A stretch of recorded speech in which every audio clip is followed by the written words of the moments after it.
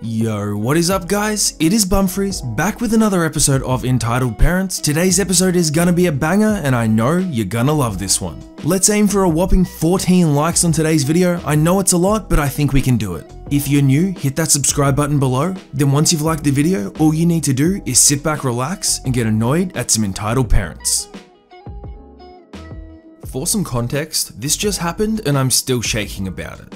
I have an 11 week old purebred corgi with his tail still attached. This will be important later. Tail docking is still legal in the US, and I'm not an advocate unless deemed necessary. He has been my bread and butter through some tough times. I would gladly take a bullet for him to get those kisses. He doesn't have all of his shots yet, but he does need a lot of exercise. I live in an apartment without a yard, so I walk around my building a few times without a leash since he never leaves my side. This time I had him on a leash and we walked to collect the Bezos mail. This was his first time exploring out this far. I wanted to make sure he was kept close and out of the way. On the way to the leasing office, I didn't see anyone around and he was having a ball exploring the new places. When we made it to the parcel pending place, which is a package hub for tenants, I collected my package and started the trip home.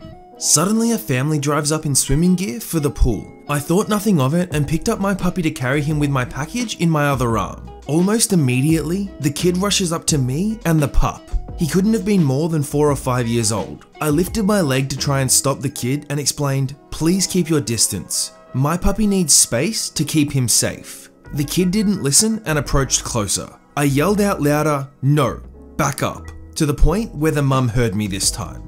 The mum rushed her way over, demanding that I apologise for yelling at her boy and to let her son pet my husky puppy. I corrected her that my puppy's a corgi who hasn't had his boosters and to keep him safe to please back up. And I went on to say that I just want to go home. This mum got all up in my face and tried to yank the pup away from my arm. I could hear him yapping in fear, so I had a knee jerk reaction to pull him closer and turn around. I said to her, back off. You're scaring him, and if you get closer again, I will use defensive force to protect myself and my puppy. You and your child need to back off and leave me alone. The mum went into hysterics and the kids started crying. The boy tried to reach up and grab his tail and pulled on it. He was yanked through my arm and dropped to the ground. I screamed as loud as I could as both of them tried to pick him up. I panicked with my keys and sprayed the mum with pepper spray. They both started screaming their heads off. I picked up my puppy and ran home. I did a check on my puppy and he's shaken up quite a bit. I changed my clothes and held him close to soothe him. I plan to only keep him outside around the building from now on. For some clarification on some things, I was raised in the military and surrounded by cops. They taught me that if I want to use defense, to first warn them loudly that I will use defense measures so that anyone else nearby may be able to hear. As far as leashing goes, I will keep him on a leash on his walks around the complex from now on. My complex is usually not this active and I only let him out on the lowest activity times throughout the day. I was told to not let him near anyone that is a stranger and not let him walk in public stores until he has another booster. This was the only time being out this way. He was leashed in this instance, especially while carrying him. As for fear of him getting sick, I do have a vet appointment coming up to give him his boosters and a checkup. You know what? It's one thing for a 4 to 5 year old to see a puppy and think, oh my gosh, that's so cute, I want to go up and pat it, because you know what? They're 4 or 5 years old. I don't think there's a single person that wouldn't understand if a 4 or 5 year old saw a cute puppy and wanted to pat it. But from this story, this isn't just any normal 4 or 5 year old. This is a 4 or 5 year old that is a product of a clear entitled mum who thinks that her precious little entitled kid can get whatever they want whenever they want it with no consequences. I would like to think this is common sense, but if someone explicitly says you cannot touch my puppy, I need you to stay away, then you don't touch their puppy. It should be as simple as that, but when it comes to entitled parents, nothing is ever simple. After the last time I stood up to my mother when she threatened to spank me, she seemed to get more wary that if she did try, it'd end very badly for her.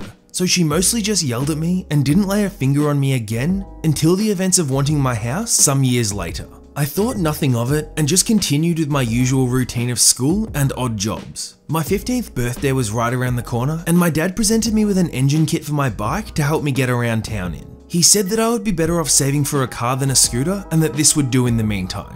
I ended up agreeing with his logic and kept saving for a car. A few days later though, I found a pamphlet for a military school while sweeping grass off the back patio and mowing the lawn. It was on the ground and under a chair near where my mum liked to sit and drink wine. I had a bad feeling that she was cooking up some kind of crazy scheme, so I waited until my dad got home to show him what I'd found. He was pretty mad but didn't jump to conclusions. So, he went to see my mum with a pamphlet and asked her about it, and said, Honey, what is this? And my mum goes white at the sight of the pamphlet and says, It's nothing. I've never seen it before. My dad says, Really? Because if you were planning on trying to send Craggle to military school, you know I wouldn't allow it. That's when my mum broke her facade and yelled, he needs to learn some discipline. He locks his door all the time and I can't even spank him anymore because he's too big. This is the only way I have left to punish him for being a disobedient brat. My dad responds by saying, Craggle did nothing wrong when he stood up to you because of your favoritism. If anything, our daughter is the brat because of you and the way you spoil her and let her get away with stealing things from her brother. As far as I'm concerned, this discussion about sending Craggle to military school is over. And if you try to send him, then so help me, I'll bring the hammer down in any way I can. My mum responded saying, well I guess this whole family is just to take away what little power I have left in this house then. If I have nothing, I may as well be nothing. So my dad says, stop being so dramatic that Craggle is growing up to be his own man now with his own money. My mum then just stormed out of the room. The next morning before school, I saw her furiously trying to stuff something into the kitchen trash bin. I waited for her to leave for work and dug out what she was trying to hide. It was an application for military school entirely filled out in her handwriting. It required the signatures of both parents or legal guardians on it, and there were two signatures on the paper. I recognised my mum's, but the other looked like a pitiful attempt at trying to replicate my dad's. He prided himself on his smooth and complex signature, and there's no way that my mum could copy it without looking like a fraud. I guess she realised that after she was confronted and gave up on trying to send me away. I kept the papers and showed them to my dad later. He was mad, but figured she'd done that already and let it go. But he filed the papers in his office just in case. A few months later, it got out that my mum was having an affair with an old ex-boyfriend of hers from high school.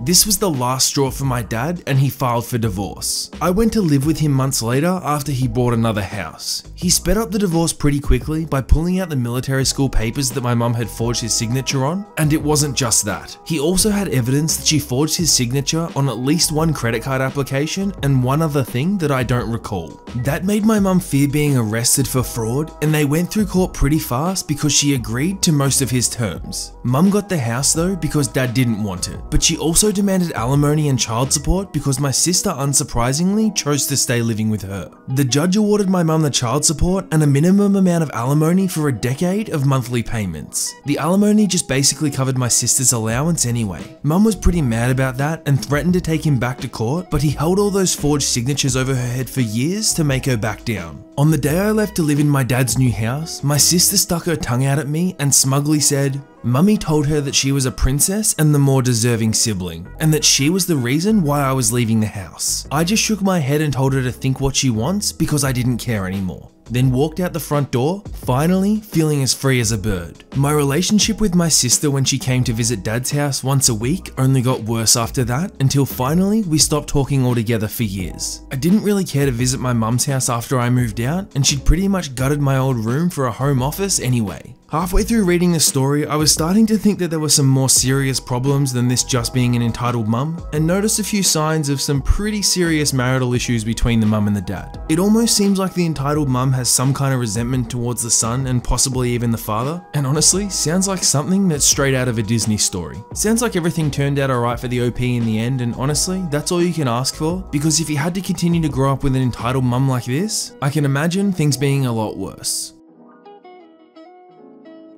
Okay, this just happened about 30 minutes ago and I am home now. I'm gonna give a little bit of history about me, a 39 year old female, and my kiddo, a 12 year old male. My late husband is of German descent and I'm African American, but I have light skin. So when I had our son, even though he's biracial, he could definitely pass as a Caucasian child. Okay, onto the story. My kiddo has been stressed since his father passed away suddenly last year, and I've been doing my best to keep him smiling.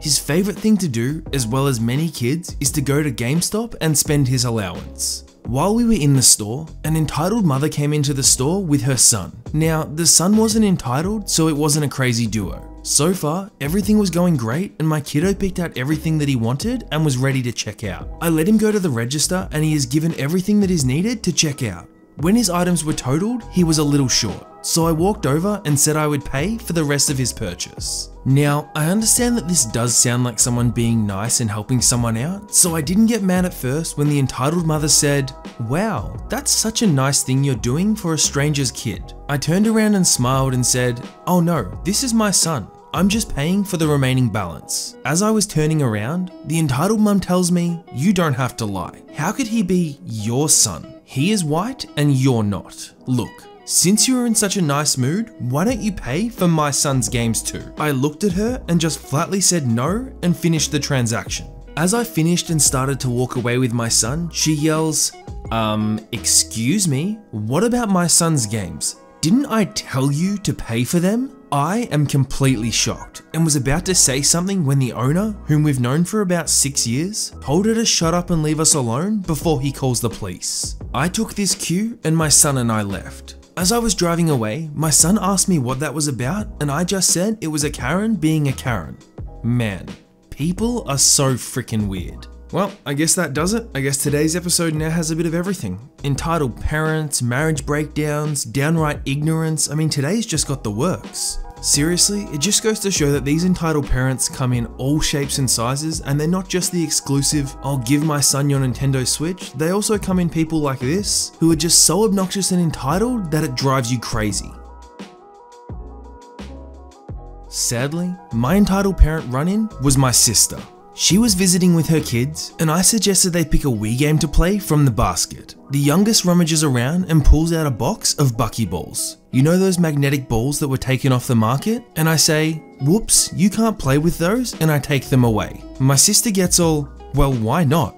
And I explain that he's five, so he's too young from when they were legal, and now they are off the market. She starts to get annoyed with me and says, he knows not to put things in his mouth.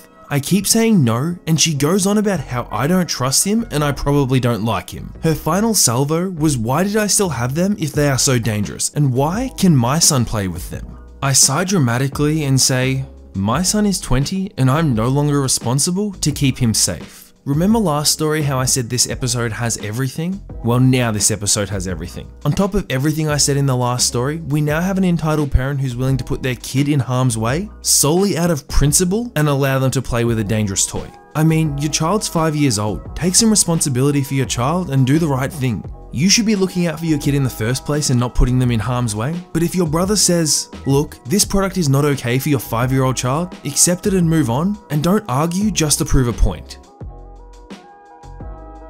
And that is that for today's episode of Entitled Parents. If you did enjoy, don't forget to hit the like button down below. And if you're new, don't forget to subscribe. There are two hand selected videos on your screen right now which I suggest you watch if you want to see a bit more Bumfris. Make sure to hit that subscribe link as well. I hope you all have a fantastic day and I'll see you tomorrow for some Choosing Beggars. Bye.